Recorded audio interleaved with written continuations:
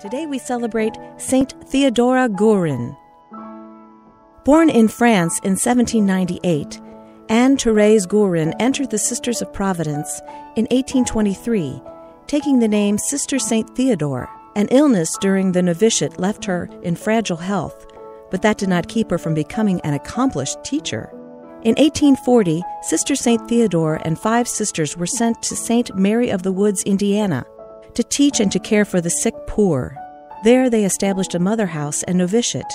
The young community persevered despite fires, crop failure, prejudice against Catholic women religious, misunderstandings, and separation from their mother congregation in France. Mother Theodore told her sisters, Have confidence in the providence that so far has never failed us. Another time she asked, With Jesus, what shall we have to fear?